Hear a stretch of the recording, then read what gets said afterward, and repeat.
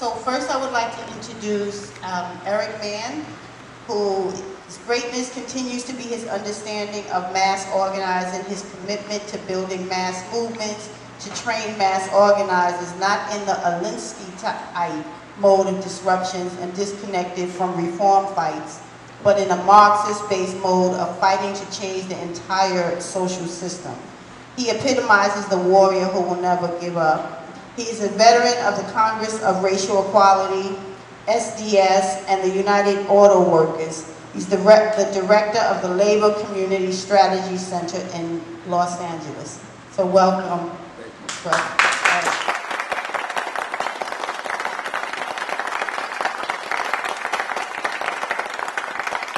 Uh, hey everybody, thank you so much for coming. Um, this is exciting. I was in Harlem my first time uh, working with the Congress of Racial Equality, 1964, organizing the Trailways um, porters who were uh, tote that barge and lift that pail, and at that time they were uh, carrying people's bags. And they wanted to drive a bus. And uh, that was a radical concept at the time, and Trailways would not let them be bus drivers or ticket agents or information clerks in that deep southern city called the Port Authority Terminal in New York. So that's where we started, was to try to fight racism in the North.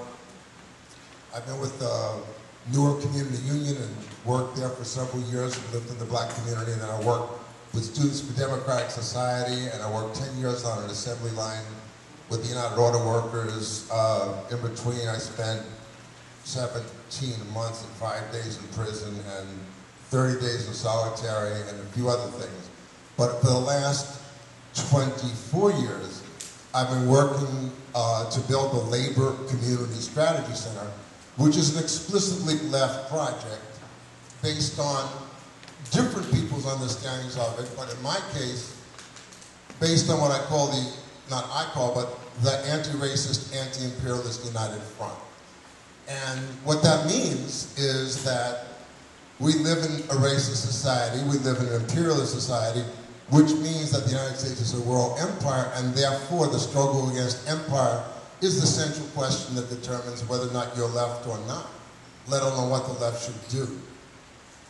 So we fast forward today to uh, numbers, people, events. Uh, a group of organizers with the Bus Riders Union go, we're the Bus Riders Union, and this is our fight. Mass transportation is a human right. We want a 50 cent fare and $20 passes because mass transportation belongs to the masses. So then we came up with this idea called Fight Transit Racism and Billions for Buses. Fred and I both talk about the concept. He calls it prefiguration. I don't know what I call it, visionary imagination. We both operate off a very, in some ways, similar concept of you dream and then you organize to achieve the dream, but that's what Lenin said. That's what Malcolm said. That's what Martin Luther King said. That's what a whole lot of people said, but it's hard to do. It's hard to lay out very bold ideas, but then realize you have to build a movement person by person to carry those ideas out. So in LA today,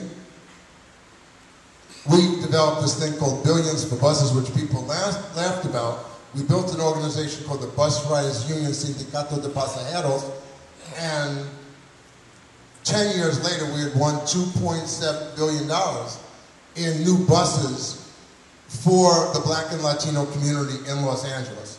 And the Bus Riders Union is a well-known civil rights organization all over the country.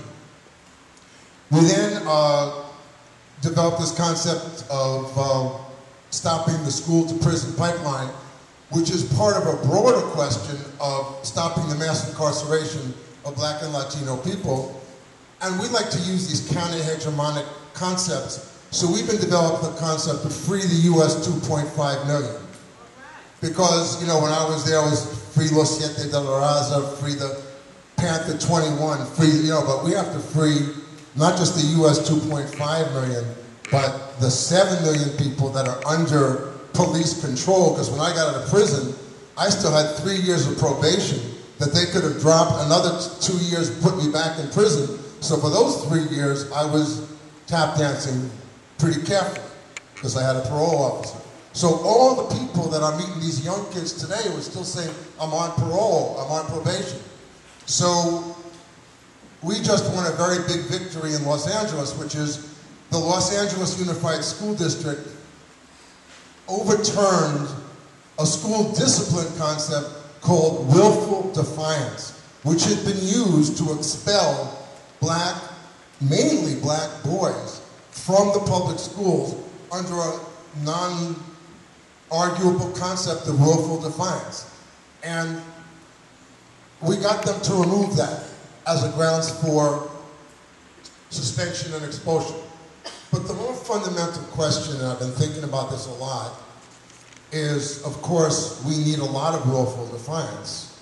And the pain that's been inflicted on black people through the whole series of counter-revolutions, the re-enslavement after slavery, the destruction of Reconstruction that Du Bois talks about, the uh, end of Jim Crow, only to be led to the, a mass incarceration that's almost hard to comprehend because in the 60s we had 200,000 people in prison.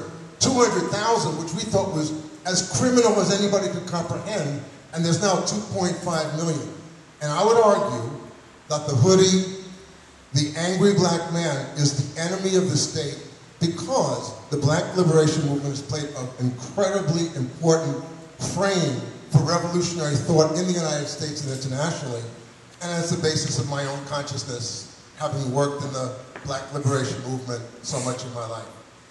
So let's talk about a little theory now. We, uh, well, I'm, everything is theory and practice. Uh, Matt, where are we in time? I'm watching my time. All right, I'm gonna keep going. In Los Angeles today, we've initiated a campaign called the Fight for the Soul of the Cities. And I want to talk to you a little bit about that. As I said, that's a frame based on the anti-racist, anti-imperialist United Front. Within that frame is the fight for the soul of the cities. Within that frame is the social welfare state, not the police state. The environmental justice state, not the warfare state. So we are saying that as a mass question. And it's important for organizers to come up with ideas, because revolutions are fundamentally about ideas, that are starting popularizing. So a lot of people are saying, yeah, I'm for the social justice state, not the police state, which means they're beginning to articulate that we live in a police state. Um, for the environmental justice state, not the warfare state. So we're bringing that as a mass concept, and then under that, we have demands. And the demands are also very big picture demands. A thousand more buses, a thousand less police. As I say to people when you go on the bus, we want a thousand more buses, a thousand less police. What don't you understand about that? Everybody understands it. It's just a question, are they for it or against it? Then we have the Free the US 2 million. We have a campaign, No Cars in LA, which means no cars in LA. It means that if we're eco-socialists, if we believe an ecological anti-imperialist revolution, then we have to radically restrict production and consumption in an imperialist nation, in an imperialist empire. That's to say, it's no longer a voluntary choice whether or not you pollute or not. It's very interesting. We want to sort of free the U.S. 2 million point five prisoners and imprison the 8 million cars in L.A. and prevent them from going out. And it's very interesting how people say, you can't take away my freedom, my freedom to drive but you can lock up all the kids. That's okay. So we're trying to have these conversations because that's a lot what people want to do is talk about the future of the society and the world. And we talk about the fact that the greenhouse gases in Los Angeles that we produce through our cars are killing the people in the small island states of Tuvalu, of the Marshall Islands, that is to say, their cultures are being drowned by our avarice and pollution. And they are begging us, when we went to the UN, to say, what are you going to do about the United States? That's what the Vietnamese asked us to do. What are you going to do about the United States? That's what the South Africans asked us to do. Don't worry about our struggle against apartheid. What are you going to do about the United States? And then be in solidarity with our struggle against apartheid. So we're raising the question that we have a special obligation, living in the heart of the empire, to be anti-imperialist in the most explicit and internationalist way possible. So in my opinion, the eco-socialist movement must be tied to a very explicit anti-racist, anti-imperialist politics. Because eco, as you were saying, is not automatically defined. Socialist is not automatically defined. And there's a lot of people who say they're eco and socialist who would not support no cars in LA, who would not uh, oppose the drones, who would talk about building socialism inside the territorial borders of the United States, and they call that socialism, which is dividing up the spoils of empire and having a redistribution theory, which is not what we believe in the Strategy Center. When my wife Lian Hurst-Mann and I went to um, Germany, and Lian opened up and said the primary obligation of people in the oppressor nations is to support the people in the oppressed nations, the German left said, what? What are you talking about? Are you talking about Hitler? Well, yeah, but we're also talking about Germany today is the arch imperialist in Europe. And the German left just couldn't grasp Kurds or Turks or what role Germany was playing in the world. So my politics is sort of based on a couple of things right now about where the left should go. First, putting out very big picture, anti-hegemonic, counter-hegemonic ideas into society. Two, working in black and Latino communities to build the black and Latino strategic united front against imperialism, which will of course reach out to Asian Pacific Islanders, to all oppressed nationality people, to anti-racist whites, to other classes and races, but it starts in the black and Latino strategic alliance in alliance with the nations and peoples of the third world. That's been my strategy since I got involved in the movement before I knew what strategy was. I was against racism, I was against the war in Vietnam, and I came to understand through SNCC's, Hell No, We Won't Go, through Muhammad Ali's, No Viet Cong ever called me that, the concept that the black liberation movement was tied to the anti-war movement and that we were in an anti-racist, anti-imperialist united front. After you put these ideas out, you got to train organizers, and we have been able to recruit young black and Latino kids. Uh, would have slogans, hey, Los Angeles Unified School District, I'm pre-med, I'm pre-job, I'm not pre-prison. And we have built a movement, along with other people, other forces in Los Angeles, to counter the, the racist ideology of the system. But these kids care about LGBTQ issues, they care about the war, they care about no drones. They are internationalists in their orientation, and they're, as one 27-year-old said to the 17-year-olds, when I was your age, and she had worked with us for 10 years. I said, Carla, you're only 27. Give it a break. But the point is we are training a new generation of organizers, and I'd like to talk about that later, but understand that the people who went down south were organizers. They were not simply agitators or activists. An organizer and a cadre, you put your body on the line and you build a movement of oppressed people. Then you have to build alliances with people that are not revolutionaries but who actually might support you more than a lot of people who say they're revolutionaries. So don't write off the, the minister. Don't write off uh, the elected official. Don't write off anybody. Carry out a hegemonic campaign and then build people around your line. Build forms of organization. Build forms of struggle. Develop an international strategy. Work with people all over the world. And overthrow the empire. Now, um, so I got a lot more to say, but I'd rather sing. So I'm going to end my song with the, uh, it's called uh, A Mother's Prayer or Can't You See What You Done Done by the Persuasions. And it, it embodies to me the anti-racist, anti-imperialist United Front. Boom, boom, I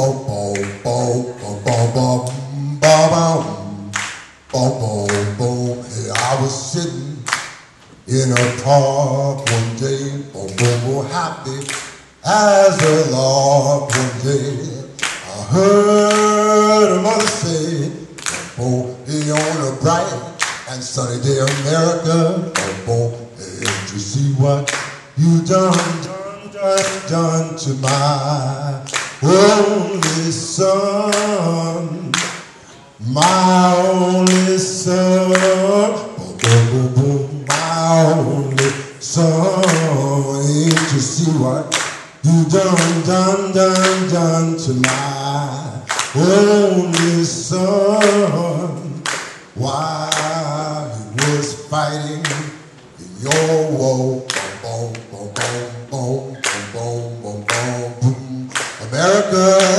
They say you gave me my only son. But right away you sent the boy off, yes you did, to fight over in Vietnam. He was a real good soldier. Oh yeah, you know he really tried to do his part. And Was so proud of the boy when you gave him the medal you called the Purple Heart. I didn't know when you sent my son off to serve his country that you would send my son back to me, a stone junkie. Ain't you see what you done, done, done, done to my only son? I'm talking about my only son. Oh, boom, boom, boom, my only son. Ain't you see what you done, done, done, done to my only son while he was fighting in your war.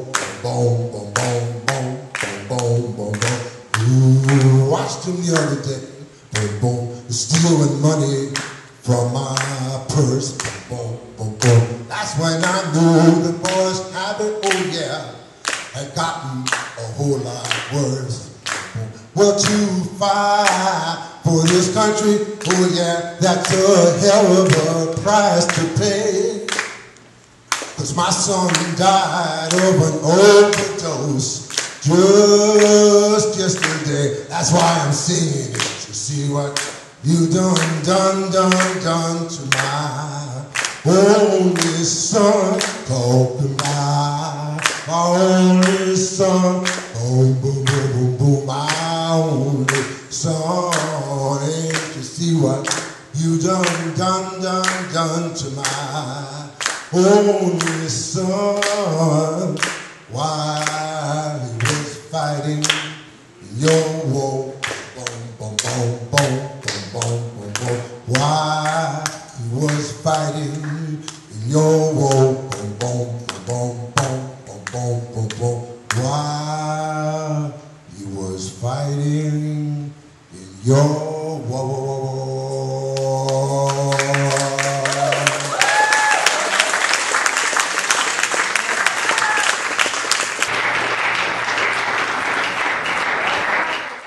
Stay sitting up, Eric.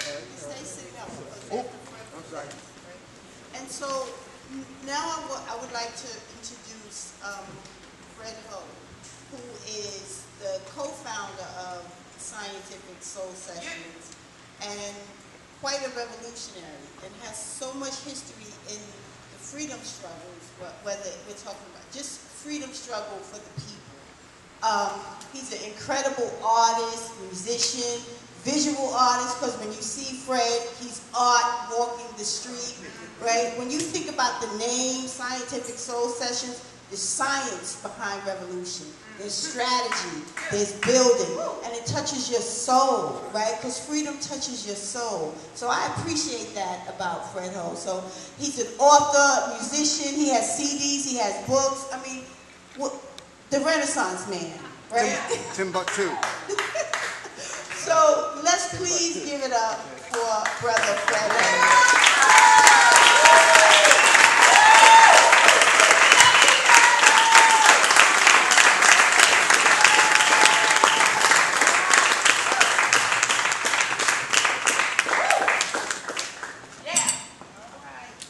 I'm gonna uh, use this mic stand, so if you, if, uh, you don't hear me too well, just speak up and say something. Can you hear me okay? Yeah. Okay. Revolutionary Maroons versus the Matrix. coming to a class struggle theater near you. Coming to a class struggle theater near you. I will address how all the traditions of supposed mass organizing and revolutionary strategies heretofore practiced by almost the entirety of who would be self-identified as the quote-unquote left must be transcended and replaced with both a different revolutionary vision and method to end industrial, patriarchal, capitalist imperialism. All revolutionaries in the Eurocentric tradition have believed that the struggle for reforms, usually considered mass organizing, are not ipso facto reformists, but, because, but can be struggled for in what has been conventionally touted as via a quote-unquote revolutionary way. Simply, reformism is the reliance upon the system, whether electing different politicians, changing laws, or allocations of funds and resources more favorable to the people.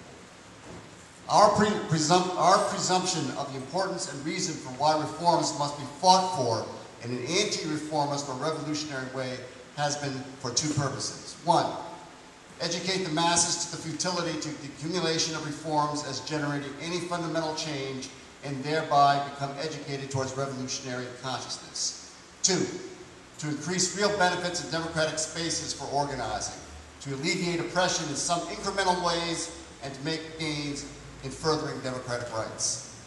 The traditional left methodology of struggling for reforms, quote, in a revolutionary way, unquote, is to rely upon the masses to amplify their independence and initiative and not be narrowed and constrained by bourgeois traps of backroom political deals, reliance upon legislative changes, and the funding benevolence of the state and corporation. Here is the problem to this presumed tried and true vision and method of quote unquote struggle for reforms in a revolutionary way. No reform struggle in the United States has actually enhanced or increased the revolutionary movement, just the opposite. Revolutionary upsurges in the past century in the United States have come about as a qualitative and significant break from the futility of relying upon the system. These revolutionary upsurges came about because of the recognition of the following problems of not demarcating from the mass reform struggles. One, if the ruling class can concede it, then it can be co-opted. Two, the benefits gained often diffuse, mislead, and dupe the masses and foster more belief in the system, not its opposite. Consequently, the little gains or the quote, better than none, unquote, attitude becomes primary as concessionary or pressure politics and as a politics of organizing around issues rather than principles. Three, from history we see that certain individuals are unco-optable, entire organizations and movements have been destroyed or derailed by the Trojan horse of mass reform struggle. Beware of the state and corporation, corporate foundations bringing concessions. They not only come with strings attached, they more dangerously contain the enemy's ethos and ensure greater captivity by the matrix. Four, the accumulation of reforms doesn't lead to self-sufficiency or the capability of revolutionaries or the masses to run society and run it in a way qualitatively better and different than the institutional practices of the system we seek to overthrow, to end, and replace with a qualitatively different and better one. Something Lenin asserted, but most of us have ignored, is that revolutionary consciousness doesn't come from the working class or mass struggles, but from the outside. Revolutionary consciousness had to be prefigured on the outside first, and then according to Lenin's view, and where I take exception with him, fused within the working class and popular movements. That fusion principle, unfortunately, didn't materialize any mass independence and initiative, but brought the revolutionaries into the quagmire of compromises, concessions, and corruption. In this type of political schooling, it is no wonder that after the seizure of state power, which has been the traditional criteria for revolutionary success, that the new ruling class, ostensibly proletarian, assumes and reproduces many of the same features of the old society with hierarchy, bureaucracy, corruption, concentration of power, masculinism, masculinism, massification, and alienation. Getting more city buses and mass transit, increasing recycling, reducing carbon emissions, and a new clean energy production, more taxes on the rich, all such concessions and alleged improvements do not, never have, and never will teach the masses how to run a society, to transcend their mental bondage to the industrial capitalist matrix, to be self-organized in perpetually creative, non-institutional forms, and with a vision that remakes humanity and society devoid of money, materialistic overconsumption and accumulation, and industrialism. More of these alleged improvements only further the colonization and dependency of the masses and the supposedly revolutionary leaders into the matrix. Revolutionaries today, and most of you are culpable, rely upon cell phones, computers, making a career, bourgeois marriage and the nuclear family, and evince tremendous amounts of alienation, which makes you incapable of truly being revolutionary because you actually cannot envision, much less make any sort of personal break from the capitalist ontology. It is only your ideas, not your behavior, that is different from your capitalist counterparts, but not qualitatively, only in simple quantifications. For example, more wages and better jobs for the proletariat, but not the elimination of the monetization of value or the elimination of wage labor and industrial production altogether.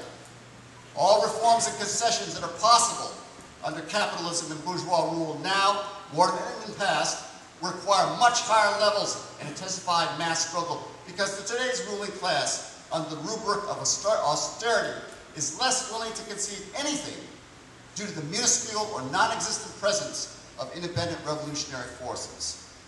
The United States ruling class conceded to the mainstream reformist civil rights leader because the revolutionary black liberation movement was ascending and thereby transcending and eclipsing and ultimately rejecting the struggle of African American inclusion into United States society. The slavery of today is the Americanization of black people in America and their de-Africanization. Here are the things that the United States ruling class, here are the things that the United States ruling class cannot concede and for which a revolutionary struggle of intense ferocity and threat. One, the sanctity of the 50 states. I Wor Kuen, an Asian revolutionary organization, in its early 1970s 12-point program in points 11 and 12 respectively, called for, quote, an end to the geographic boundaries of America, spelled with a K, and for, quote, a socialist society, unquote. Note, it didn't say a socialist USA. Two, the end of capital starting with the end of money, or more precisely, the monetization of value. What? No money? How can the world turn without money? Three, the replacement of money as the principal means of circulation and exchange by the primacy of intrinsic, not exchange, nor use value. Intrinsic value being expressed as eco-socialism. Rather than the production of use and exchange values, it is the production of flourishing ecosystems, ecosystems for their own sake. In other words, the production of values that can never be quantified, such as love, creativity, wisdom, freedom, blue whales, honeybees, and most everything in nature that is not either seen as a commodity or disposable.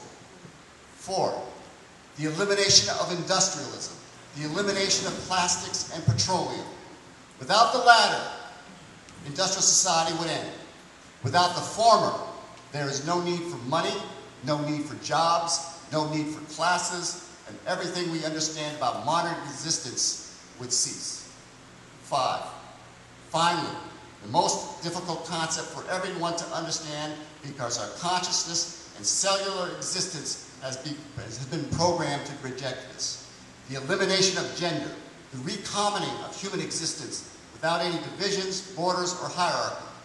A fundamental precursor and precondition for the elimination of gender as a social differential, otherwise known as matriarchy, is the restoration of the commons, or in other words, local production for local needs. Matriarchy, I contend, was the majority of human existence. Before there even existed history, it was overthrown by the power of surplus and classes, which established world patriarchy, and it will be restored with classes the production of surplus ends.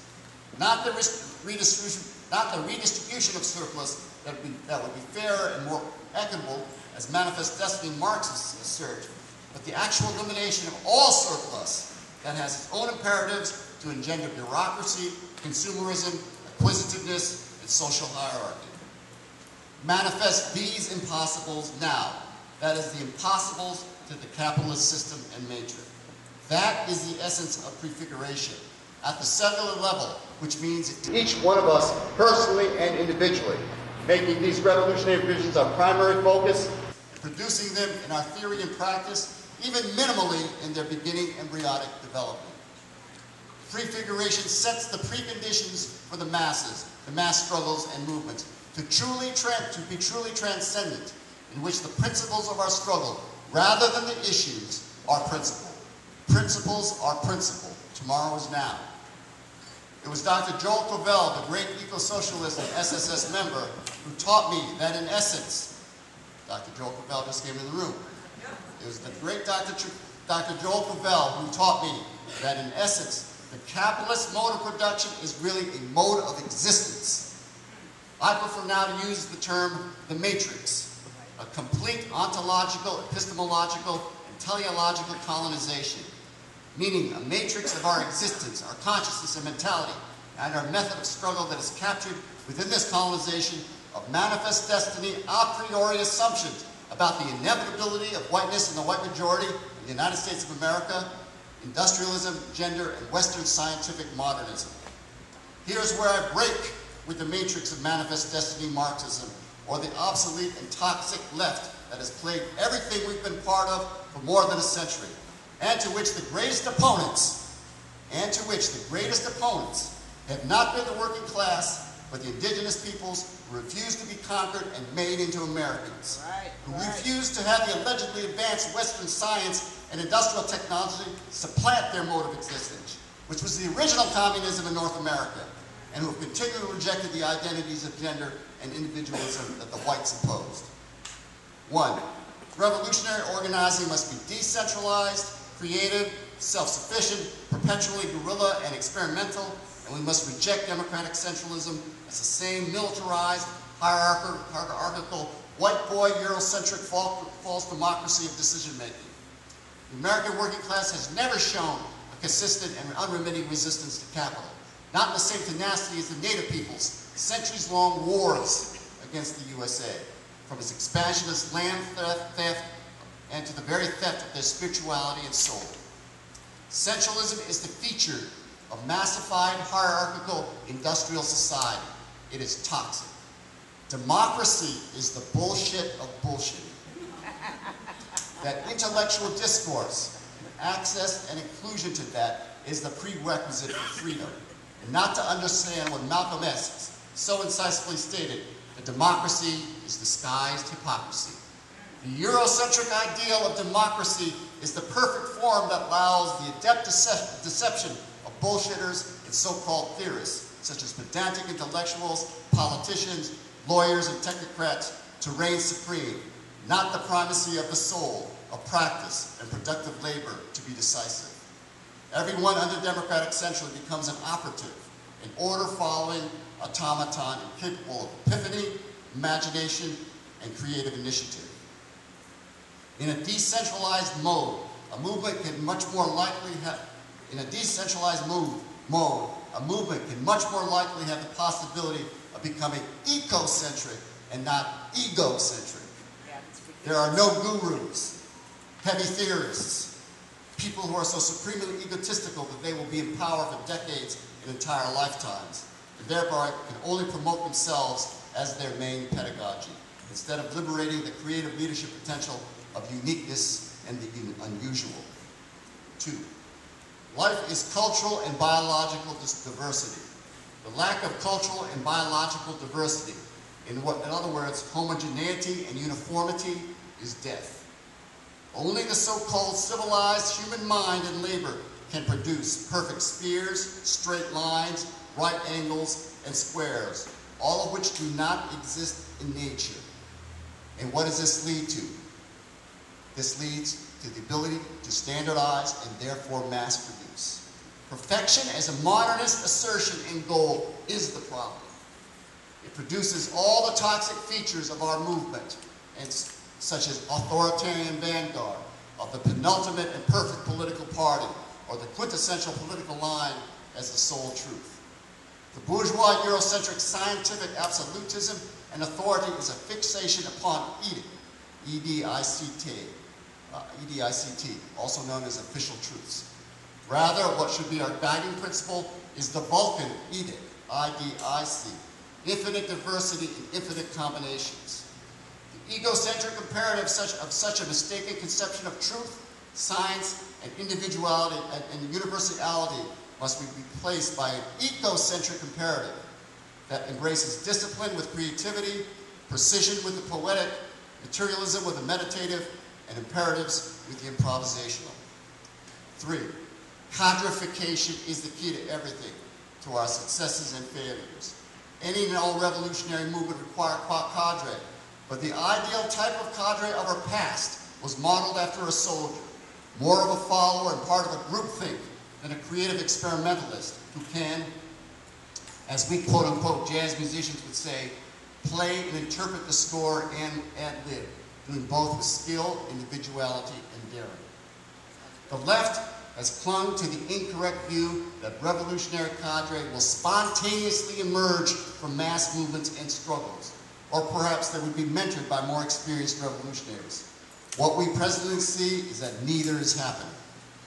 We as revolutionaries are soul changers. We must struggle with each and every potential revolutionary that as someone who consciously is committed to, vote, to, to, to devoting their life front and center to building a revolutionary movement, to change not only their ideology, but their very ontology, their soul, to becoming creative, capable, committed, and clear revolutionaries. This requires we as revolutionary teachers and leaders to boot camp new people, to get their souls and to consistently develop them, just as we would be practicing a musical instrument. For the last 30 years, as the revolutionary upsurges have been crushed, co-opted, and imploded, a mass activist itis of NGOism has become dominant and hegemonic, infecting large sections of those consider themselves still to be revolutionary. What are the symptoms? Today's mass activism incorrectly and ineffectively, ineffectively polarizes consensus building with the necessary importance to discipline theoretical work and creative prefigurative base building strategies. Today's mass activists organize around issues and incremental improvements by professional paid staff who don't elevate the independence initiative of the oppressed. Today's mass organizing continues to reflect all or majority white business as usual leadership and membership instead of maroon whites who join majority oppressed nationality forums. Today's mass activism seeks acceptability to mainstream media and establishment entities instead of self-sufficient and self-reliant independent base building and so on. Is there anything from our mass movements, our so-called left tradition, that isn't obsolete or toxic? Did we do things better in the upsurges? And can we learn to revive such? I would say that there is nothing of value to take forward other than clearly knowing and breaking with that toxicity. We don't need the militaristic conceptions of discipline, the masculinist leadership, leadership models, the privileging of intellectuals and theorists, the philistinism of today's organizers who fail to study and develop creative theory, the passe and ineffective formulations of the past, such as, quote, whites should organize other quotes, whites, unquote. What that effectively does is to continue to reproduce whiteness, or the formulation of anti-imperialist, anti-capitalist, anti-imperialist, anti-sexism catch-alls that list what we are against, but not daringly put forward what are we for. What do we replace patriarchy with? What do we replace racism with? What do you replace the American empire with? Why the unwillingness to state the opposites as the replacements, such as the opposite of patriarchy is matriarchy, the opposite of racism is polycultural marooning, the opposite of the American empire or imperialism is the return of the U.S. stolen lands to the indigenous peoples and building hybrid maroon communities. And the end of capitalism isn't industrial socialism, but the restoration of the matriarchal commons, in which local production for local needs and for use is the sole imperative. Let's, uh, let's look at some of the major quote-unquote issues of mass struggle today and see the reformist limitations and what could be revolutionary imaginative possibilities. One, immigration. Instead of citizenship and documentation, how about the end to all borders and return of the lands to the indigenous peoples? Two, environmental. Instead of more strict regulation and alternative energy production for unlimited consumption, How about the end to all fossil fuels, including petroleum-based production of, for plastics and all industrial production? Three, instead of gay marriage, how about the abolition of all marriage? Four, instead of abortion and women's rights, how about the end of the nuclear family, the abolition of gender, of, of the gender division of labor, and the commoning of child rearing? Five, instead of economic justice, how about the end to wage labor, global capital accumulation, and, and commodity production entirely? Mass organizing and mass struggle must not reproduce the massified imperatives of industrial capitalism, the very compromises and Trojan horses, horses of reformism by the requirement of prefigurative revolutionary organizing and production. I am not counterposing mass struggle and prefiguration, only stating what now should be obvious, that mass struggle reproduces all of the degradation and compromises of massified anything, and that prefiguration is the essential requirement for demassification and detoxification that the industrial capitalist patriarchal matrix has colonized every one of us down to the cellular level. I look forward to a discussion with everyone here. Thank you.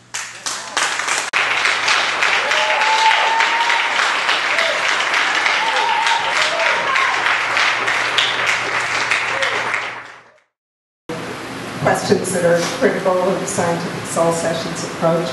Um, the first thing I want to say is that I, I agree that you know reforms get us nowhere. I do think, though, that Eric, I agree with you that in the process of fighting for reforms is one of the ways that people get educated, and that that's where the consciousness of, of revolutionaries comes in. So, an example, I've been working with um, formerly incarcerated, I've been working with formerly incarcerated people, trying to get all of the, you know, the movements that are around mass incarceration to recognize that formerly incarcerated people don't just have sad stories to tell and give the details of how awful we were treated, but have ideas and expertise and are the experts on what would replace a prison system, what would be a form of social organization, that would, what would be the form of so- social organization that would deal with social conflict, that wouldn't be prison wouldn't be violent. So um, in the course of that, I've actually seen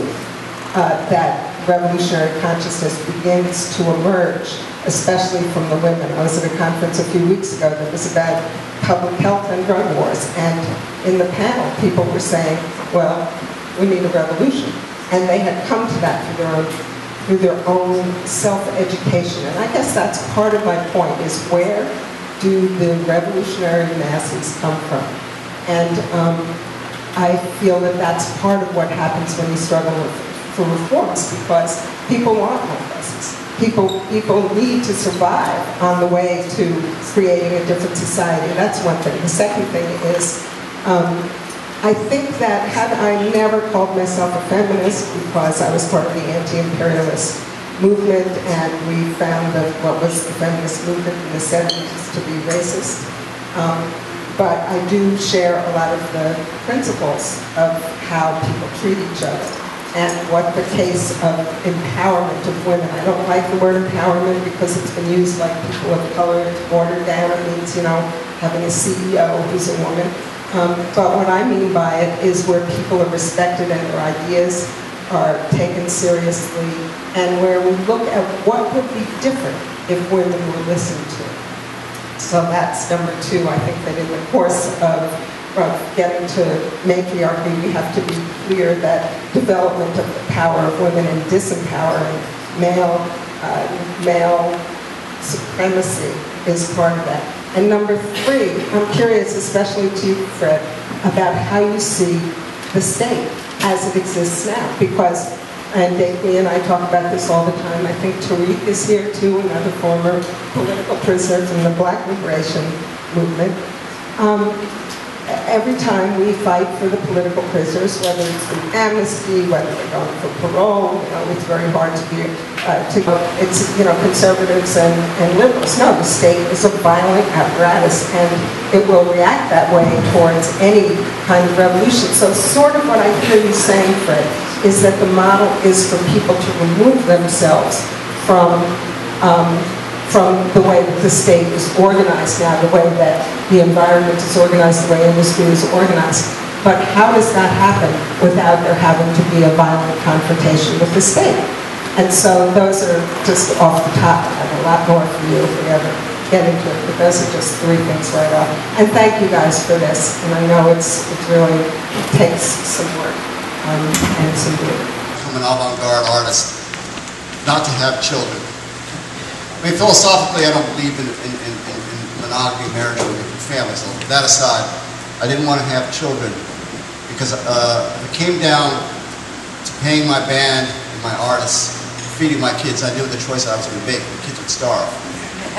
Okay, so that's a personal decision I made. But now, we don't have, an SSS, we don't have an official child care policy. And I hate the term child care.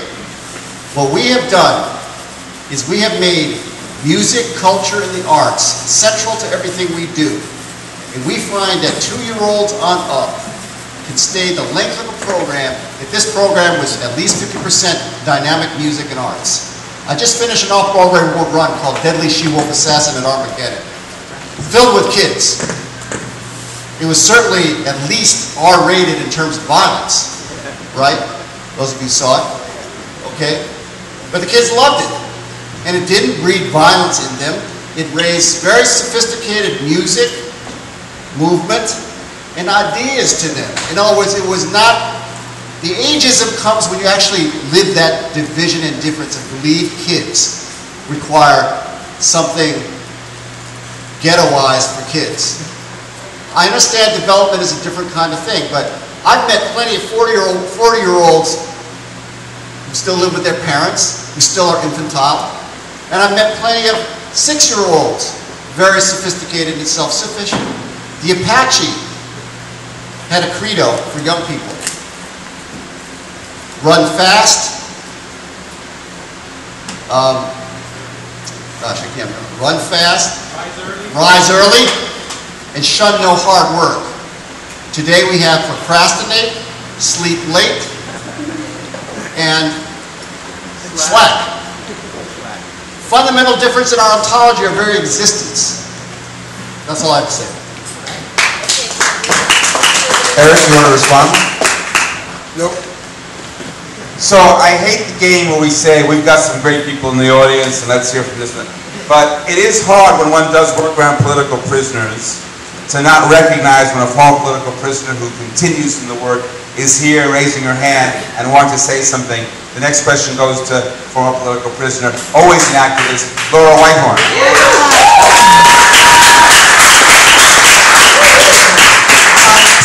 as a revolutionary, please, as well as an activist. So, you know, this is really um, interesting to me. I agree with a lot of what both of you say, and I have a lot of questions about it. As Fred knows, I have a lot of uh, uh, questions that are critical of scientific soul sessions approach. Um, the first thing I want to say is that I, I agree that, you know, reforms get us nowhere. I do think, though, that Eric, I agree with you, that in the process of fighting for reforms is one of the ways that people get educated, and that that's where the consciousness of, of revolutionaries comes in. So, an example, I've been working with um, formerly incarcerated, I've been working with formerly incarcerated people, trying to get all of the you know, the movements that are around mass incarceration to recognize that formerly incarcerated people don't just have sad stories to tell and can give the details of how awful we were treated, but have ideas and expertise and are the experts on what would replace a prison system, what would be a form of social organization, that would, what would be the form of social organization that would deal with social conflict, that wouldn't be prison and wouldn't be violent. So um, in the course of that, I've actually seen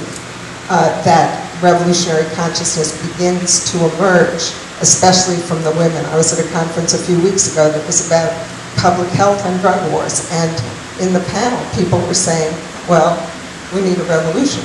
And they had come to that through their own, through their own self-education. And I guess that's part of my point, is where do the revolutionary masses come from? And um, I feel that that's part of what happens when you struggle with, for reforms because people want more buses. People, people need to survive on the way to creating a different society. That's one thing. The second thing is, um, I think that I never called myself a feminist because I was part of the anti-imperialist movement and we found the, what was the feminist movement in the 70s to be racist. Um, but I do share a lot of the principles of how people treat each other and what the case of empowerment of women. I don't like the word empowerment because it's been used like people of color. It's watered down. It means, you know, having a CEO who's a woman. Um, but what I mean by it is where people are respected and their ideas are taken seriously and where we look at what would be different if women were listened to. So that's number two. I think that in the course of, of getting to matriarchy, we have to be clear that development of power of women and disempowering male, uh, male supremacy is part of that. And number three, I'm curious, especially to you, Fred, about how you see the state as it exists now. Because, and Dakely and I talk about this all the time, I think Tariq is here too, another former political prisoner from the Black Liberation Movement. Um, every time we fight for the political prisoners, whether it's through amnesty, whether they're going for parole, you know, it's very hard to be uh, to get released through revolutionary means if you didn't succeed in escaping. Um, we come up against the police. The police run.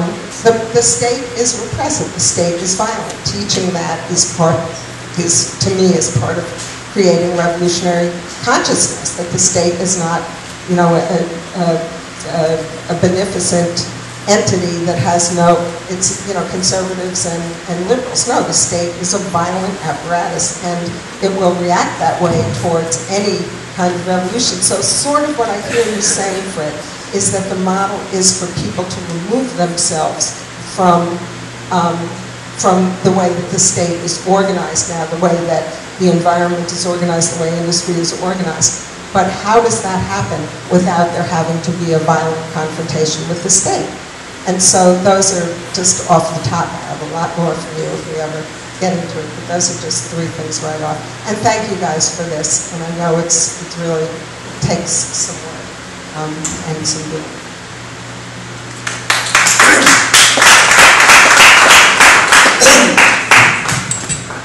Well, thanks, Lauren. Thanks for all the work you've done.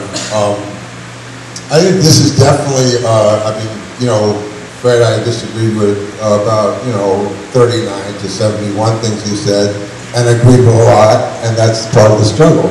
And, you know, Fred and I come from, I still believe, well, we definitely believe, we are part of a tendency of the anti-racist, anti-imperialist movement. So that's what this conversation is about, is where does the anti-racist, anti-imperialist, uh, eco-socialist movement go? So there are two differences I'd like to focus on to at least have a conversation. One is, do we root ourselves in history of other human struggles? And I believe we do. Um, Fred, you want to make a break with all past forms of organization. Uh, that's a pretty hard uh, burden to place. That means that you're breaking with the Paris Commune, you're breaking with the Russian Revolution, the Chinese Revolution. You know, in one year after the Chinese Revolution, they got rid of foot binding and opium. Now, those are euphemisms, but pretty good for me. So that's an amazing contribution. Three years after the uh, Cuban Revolution, there's a film called La Maestra, in which 8, 10, and 15-year-old kids went into the countryside to teach literacy to campesinos who had never been allowed or taught to even um, write their name. Now, when Marx was talking about class consciousness, what he was trying to figure out, and Lenin did a lot more work on this, is when you read the Communist Manifesto, it does give the impression, because that was a very revolutionary time, that the revolution would be fairly quick, and Marx and Engels did think that, whether it was five years or ten years or whatever. They were somewhat taken back by the counter-revolution and then how long it was going to take. But those are the terms and conditions of reality. Those are not, these are the objective conditions that we can't change. If you want to will a revolution into being faster, uh, I'd like that too. But here's the reality. You go into a factory of real people, and you say to them, I want to talk to you about no cars in LA, or I want to talk to you about freeing the US two million prisoners. They don't even start with that, obviously, they just agree with you a lot of stuff. Can you imagine the amount of auto workers having a conversation with them about no cars in LA? Or all the people that build uh, freeways? Or all the people that say, what do you want from me? You know, I, I work in a car dealership, I'm Latino, and I clean the floor. Are you trying to You know, there's a letter from uh, Marx Engels back in 1860 or something, said, you know, our thing is worked out in Europe, but what happens when we've exported this around the whole world and all these contradictions take place? Well, of course, what's happening is what happens when it gets all around the world. So as it gets all around the world, the capitalist system is having more and more difficulty accumulating, which is a death sentence for it, and it is acting increasingly crazy with its, you know, tearing mountaintops off, with its, you know, everything fracking, tearing the earth up in an accelerated way, right? And this only increases the accumulation crisis. So you have to see the, the conjoined quality of these two crises. And the fact is, yes, 600 years, sister pointed out, it's coming to an end. And everything that we're doing is reflected in that overriding fact. You should comment at that level. Yes, you should. Okay. Fred and then Nick. The resistance to capital expansion has been going on since it began. Particularly as- it reached beyond Western Europe. You had to destroy the resistance in Western Europe, which was, was essentially enclose the commons, turn people who worked the land into proletariat, workers who had nothing, couldn't be self-sufficient, had to sell their wage, and destroy the independence of women the witches, the witch hunts, and so forth. That was transferred to the whole world. The resistance was marched by the government of Venezuela to proceed to, to participate in this conference of organizations, a plethora, of state governments, NGOs, non-NGOs, people's organizations, to protect seeds. Because the genome, the cell, is the next marketplace of colonization, okay? So that's something we, we're going to participate in. All right. Um, the mentality that somebody was talking about is more than just resisting it ideologically. Because I can point to you nine out of ten leftists, particularly what leftists will say. I'm a leftist, I'm anti-capitalist, I'm anti-imperialist, I'm anti-racist, but their entire behavior and existence confirms the matrix. Confirms it. They're not outsiders, they're insiders. So they're never going to bite the hand that feeds them, only in their own mind. So where do we resist? We resist it in our souls. Okay? That is why part of the process of disalienation or de-alienation is doing whatever you can to free that soul. So when we talk about music, for instance, that music is both advanced in the sense of experimental music you heard today, if you could count it, was in 1380 or six and a half, four. How many of you can count that? You can't because you're programmed only four, four time. Maybe one, one of my students. You count that. Okay? That's how colonized you are, your very being, that you can't even hear beyond four, four time. So let's just make that as a metaphor for everything, what you can think about. So it's not about ideology. Because you don't have to count 13 8. You can feel it. Which is what how most musicians, the great Dr. Royal Hartigan in this room, playing drums doesn't count. I mean, it doesn't count 1, 2, 3, 4, 5, 6, 7, 8, 9, 10, 11, 12, 13, 1, 2, 3, 4, 5, 6, 7, 8, 9, 10, 11, 12, 13. He feels it, it's intuitive. Why? Because he says the rest of his music is bullshit. And I'm working on the stuff that means me, and I'll take any opportunity to play that music. The music that is advanced, that is soulful, that transcends 4-4. We used to come from a tradition of leftism that thought leftist music was politically correct lyrics about issues, but in a form that simply appropriated boring white folk music and listless would-be pop music. It didn't change your soul. It gave you the right ideas, but it didn't change your soul. It didn't make you move differently.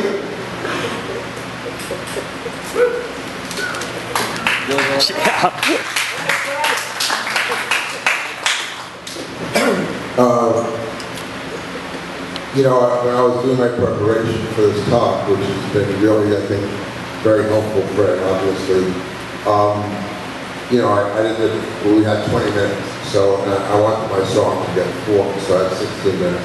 But in terms of things I did want to talk about, if I had, know, really a little more time, was to start where you would go, which is to say, one, uh, in my lifetime, I've never seen materialism in such free fall. At a point where the only thing that's going to protect this is the police state. So when we say the social welfare, not the police state, if you don't understand that's a strategic intervention against why imperialism has 55% of the Los Angeles city budget for police is because it's a not viable system and they need to virtually create a police state. The second thing I want to talk about is that the rise of speculative capital, the insanity now, I don't know if people understand that George Soros got rich by betting against the uh, British pound, which meant he went to the track. He just made a bet. His bet came in, he made billions of dollars. These guys are not even trying to exploit our labor. They're not even interested in us anymore. There's much more money to be made through a bizarre movement of bonds and stocks and credit defaults and things that I sort of do understand. But it's all about another form of decline. Um, the third is the, um, the destruction of the wage. Um, people are not making enough money to live. Uh, the greatest increase in productivity inside the capitalist system is by paying you less. So that's more productivity because they pay you less and you work, even if you work the same amount, they make more money. And if you can get you to work faster, so that's another thing. The declining middle class, the fact that people are literally living on each other's couches. Um, the, the, I want to talk about the structural elimination of black people from the political economy. And the, the fact that black people are now being literally pushed out of um, even cleaning houses and janitors. All the traditionally working class jobs that black people had. You know, the National Domestic Workers Association is doing some very, very good work. And then I found that there were almost no black domestic workers in uh, New York. So then there's the, the issue of the growing police state, the national surveillance state, and the people's participation in the national surveillance state. Because there's a, a dialectic between the tremendous alienation people feel and powerlessness, and the fact that they even were happy that the government spied on them, because at least they have a personality. So when you go to Starbucks and say, Fred, your, your latte's ready, and the person says, fuck, it made my day. They text their friend. I just got, my name just got uh, called at Starbucks. I watch people, they're really lonely and scared and frightened, and we're trying to build a movement about collectivity. Now, relating about that to Kanye's question is,